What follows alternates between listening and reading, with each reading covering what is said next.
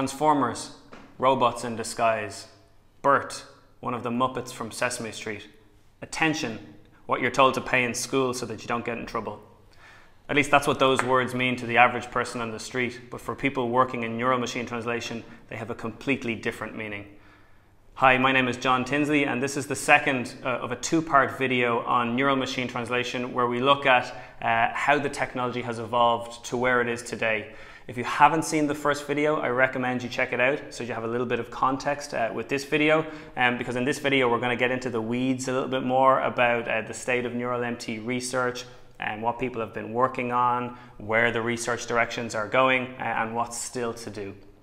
So uh, when NeuralMT started, it was really promising, but there were still uh, a lot of open research questions uh, that were posed by leading researchers in the field. Uh, and this was something covered in our blog in a lot of detail, which you can see on the screen here and you can refer to uh, if you need to.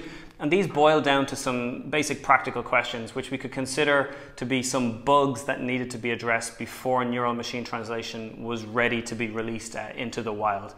Some of these things were things that had been solved before in statistical MT, such as the ability to use customer specific terminology, the ability to handle tags, the ability to process certain named entities like URLs and, and email addresses. But then there were also a number of new issues introduced in neural machine translation um, such as uh, kind of unpredictable translations or missing translations, incomplete translations, and, and challenges dealing with um, out of vocabulary words and, and, adapting to different domains.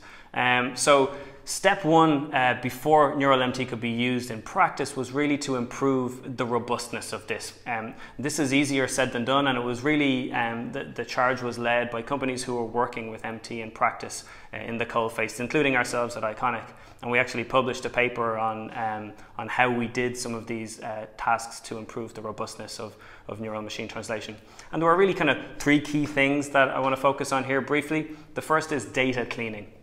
So the data that we use to train machine translation engines is, is our gold, um, but it needs to be very clean. So there can't be noise in the data in terms of misalignments or encoding issues or things like that because neural MT is very sensitive. So before we start training, we really need to clean the data because it's really a case of less is more uh, when it comes to training data. Uh, the second point is something called constrained decoding. This is basically the ability to be able to handle things in a specific way, I translate terms in a certain way or not translate certain things that shouldn't be translated. This is critical in practice because for clients, terminology is sacrosanct and they really want to make sure that their style guides and their brands are adhered to. So it's really important that we're actually able to do this in neural machine translation.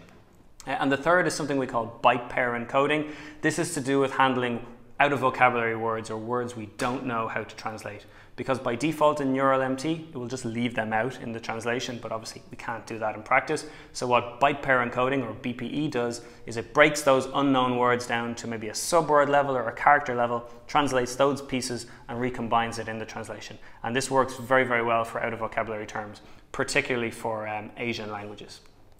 So what this did is it got things over the line in terms of production, uh, and then the research continued uh, fast, at, at, a much faster pace um, than ever before, with record number of, of papers being published. And actually, uh, around this time, we started to write a weekly blog on, on our website called the Neural MT Weekly, where was, the idea was we would address a new research topic every week, and that's been going for well over a year at this stage, which kind of shows you how, how, how much new work is, is kind of constantly being done.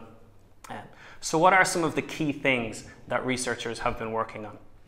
I mentioned this word earlier on, uh, attention. Um, so even within the short lifespan of neural MT, we've had concurrent neural networks, recurrent neural networks, and attention based models are now by far the state of the art. And, and, what this means is basically looking at more context, looking at more words in the source so that we produce more contextualized, more accurate translations. And you might know this under a, a different name, which is used commonly, so called transformer models.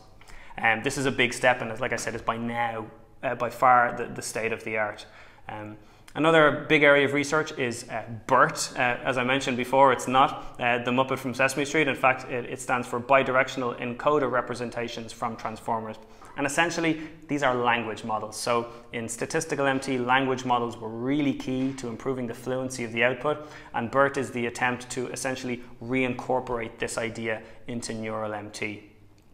Incremental training is another uh, important concept. So with Neural MT, we train our models in stages or epochs. And with incremental training, we can actually restart the training process at any one of these epochs. So what this might mean is maybe we train 20 epochs with general data, and then after this we introduce customer specific data, and that allows us to influence the training of the model from that point on, more specifically to a particular customer. And that has a really good uh, ability to adapt the content for that particular user and their, uh, and their content and style. Lastly, dynamic adaptation is now a big new concept, and this is the idea for that each sentence that we're translating we retune the models of the neural MT system uh, to, to make it more suited to translate that segment. We translate it and then we reset the models again and do that, repeat that for each new sentence so that for each sentence we're translating, we get a more, uh, a more fine-tuned translation. So where to next? Um, there's always been a lot of prophesizing about the direction of machine translation and what's going to happen by when. Um, I'd rather talk a little bit about where the research is focused now, um, and I'm aware that this is the one part of the video that could age badly, so please only refer back to this video if I'm accurate in some of my uh, predictions. But a big area of focus is on what we call low resource languages. Data is critical for machine translation, but we don't have as much data as we would like for many, many languages uh, around the world. So a lot of the research here is focused on how we can leverage data for other languages uh, in order to use that for new languages. So perhaps if we don't have a lot of, let's say, English to Swahili data, but we have a lot of English to Spanish data and some Spanish Swahili data, we could actually build what's called a multilingual machine translation system that can translate between multiple different languages at the same time. Uh, and another idea along these lines is what we call unsupervised training, which is where we start off with quite a small amount of training data and use that to train an engine, translate content, generate more synthetic data, and basically iterate that process until we get a final translation system um, that is more robust, but from a very kind of low starting point in terms of data. A second interesting topic is document level context. So at the moment, systems translate sentences individually with no other context, but document level basically says for any given sentence we're translating, let's look at all the sentences before, let's look at the sentences after, and use what we might learn from that in order to produce a more contextualized uh, translation. Lastly, one big topic that's on a lot of researchers' lips is quality estimation. And this is the idea that um, the machine translation system might give you some sense of how confident it is in terms of the output that it has just produced, some sort of quality score.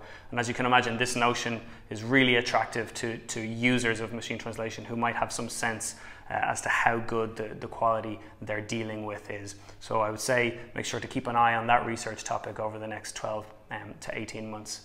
But for now, that's it for this uh, overview of neural machine translation. Um, if you haven't seen the first part of this video, I recommend you go back and check it out because they, they go well, quite well with each other. And definitely continue to stay tuned to this series where some of my colleagues will talk about how neural MT is actually being applied uh, in the wild.